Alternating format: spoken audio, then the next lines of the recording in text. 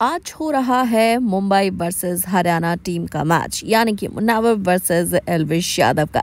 लेकिन इस मैच में थोड़ी रुकावट देखने को मिली, जहाँ पर आना पड़ा पुलिस को। करनी पड़ी सिक्योरिटी, चेक करनी पड़ी हर एक सेफ्टी।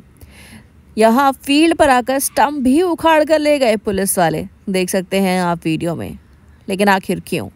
क्योंकि ये सेफ्टी सिक्योरिटी देखी जा रही है फॉर एलविश यादव। जी हाँ एलविश यादव को कुछ थ्रेट्स आ चुके हैं जान से मारने के। और ये मुन्नावर फारूकी के किसी फ़ैन के थ्रू आए हैं। जो एलविश यादव ने इसका एक स्ट्रिक्ट एक्शन लिया, ज़ाहिर सी बात है कि अगर थ्रेड आए हैं तो मुसीबत तो होनी ही है। ऊपर से इतना सारा क्राउड है क्राउड के बीच कोई भी दुश्मन खड़ा हो सकता है। इतनी बड़ी फ़ील्ड में पब्लिक के बीच एलविश को कोई भी खतरा हो सकता है। और उन्होंने किसी भी चीज़ का रिस्क नहीं लिया।